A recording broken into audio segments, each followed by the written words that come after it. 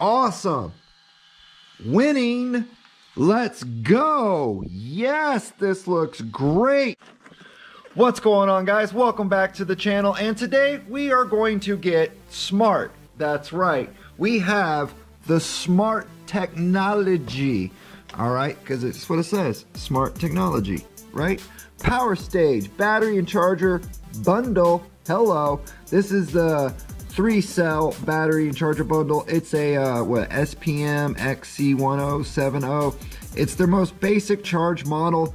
And then I got a three cell 5000 milliamp 50C LiPo battery. So basically what it means is that you got three cells, that's how many total cells are in the battery. You have the run time, which is the milliamp, that's 5,000, that's really good.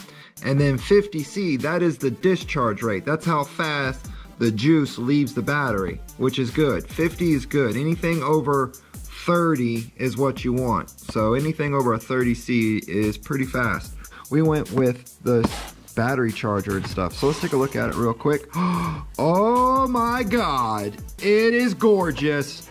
Oh, hell yeah. Woo! Oh my God, look, have you ever, oh my God, look how beautiful it is. Oh, it's gorgeous. Oh, you're so beautiful. Check it out. Look, that's the battery charger. Look, it has a little fan in the top. Or is that the bottom? I don't know. No, that's the top. Yeah, it has a little fan in it. Check that out. That is so cool. And it has like that same orange logo thing as they do up top. See, it's like that orange logo thing. And they got that on there too. That's cool. The way that this works, it's just plug and play. Even with their more advanced chargers, it's still plug and play. Now the reason why it's called smart technology is because you don't have to configure anything. All you have to do is plug it in. That's it. The charger already knows whether if this is a 5000 three cell or a 5000 four cell or maybe you have a two cell battery Okay, so this does not fit into that. See that? There's just, it's just, there's just no way. It's, it's way, this is way too big for that. And then this, uh, it doesn't exactly fit in there right. So I'm like, well, what the heck's going on? Guess what? There's an adapter that's supposed to come with this. An adapter plugs into this and that and then that's what you hook these two things up to. Well, I don't see the adapter. It didn't come with this, so this does me no good now. Yeah, there's nothing in it. No adapter. Awesome. Great. Just what we needed. Alright, I just wanted to make sure I wasn't crazy. So I went online. Look, this is it. This is what I bought. It was a hundred bucks for that. See that? There's the adapter. I don't my, I don't have one. So they screwed me. They didn't give me what I needed.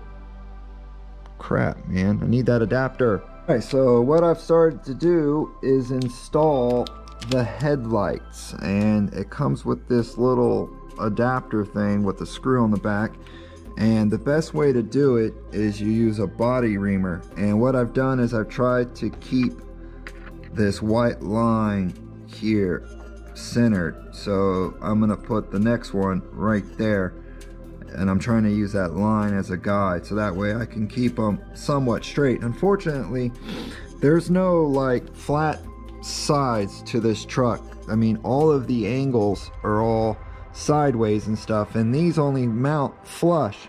So with something like this, it would be pointed like over here and it wouldn't look like a headlight. So the only way that I could do anything was put it on the front. So that's what we're currently doing. What I did, these are the wires. These are the headlights. To try to get the coral out of them, you hang them up. And they've been hanging for maybe a week now. So they're starting to, to get that, that bend out of them because you don't want that. You want them to be nice and straight as possible and you don't want these to be fighting you because they're bending. So you definitely want to let these hang out for a little bit. So just let them hang out for about a few days get that bend out of them and they will be a lot easier to tend to. We have started the wiring process. Um, we went ahead and got two of them fed it and then we got to feed the other two. Now my only concern, so wait a minute, let me rephrase that. So what I think what I'll do is I'll get them hooked up, wire them in, make sure that they work. We also have, hold on, let me reach up here. We also have a power switch. This is a power relay switch. Um, we also have that that we need to install as well. And then once everything is nice and secure in there, we're probably going to super glue them in. And then we'll probably use some of this stuff, uh, this flex seal, to seal in these as well to keep them from coming out on us. The lights came on.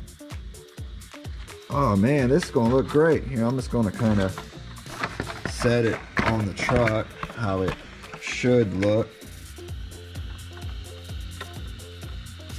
Oh yeah. All right, hold on, hold. Headlights. Oh yes, this is so cool. Oh my God, it looks awesome. Winning, let's go. Yes, this looks great. Oh, look, headlights. Oh, shit. Subscribe. Yes. Damn, I just, oh man, that blue glow, dude, it just, oh, it adds, it just adds to it, man. It just makes it look even sexier. Woo! Oh, yeah. Oh my God, are you beautiful? You are so beautiful. Oh yes, you are. Jesus, all right, cool. So we have headlights now.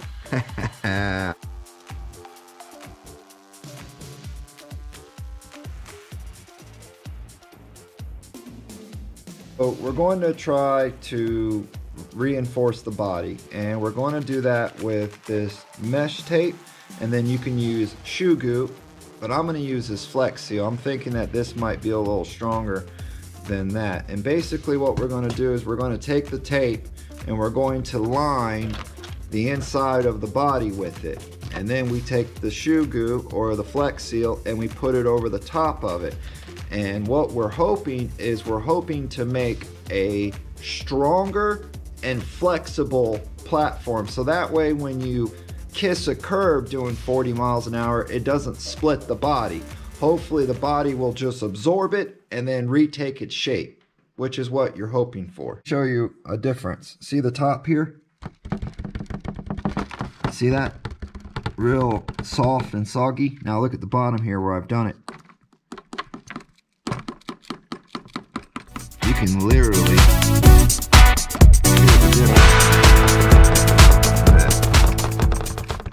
that sounds real soft and flimsy. Oh yeah. So once we get three, I'd say at least 80% of the body that way, it'll be a way stronger support. It will be a little heavier, but that's okay. You won't even notice the difference. And then we went ahead and got our Wow, that super glue looks like shit, man. That stuff came out real bad, but that's okay. It's in there. It's not going nowhere. Those are nice and secure. A little bit further ahead. So basically, you just keep layering it, and then in between, you would put the flex seal or your shoe goo or whatever it is.